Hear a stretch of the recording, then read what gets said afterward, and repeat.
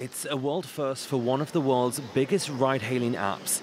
A month after it lost an appeal in the UK Supreme Court, Uber has agreed to give its 70,000 UK drivers worker status.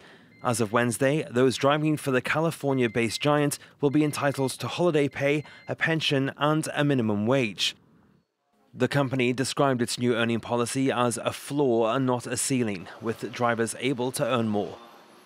Regional General Manager Jamie Heywood said Uber is just one part of a larger private hire industry, so we hope all other operators will join us in improving the quality of work for important workers who are an essential part of our everyday lives.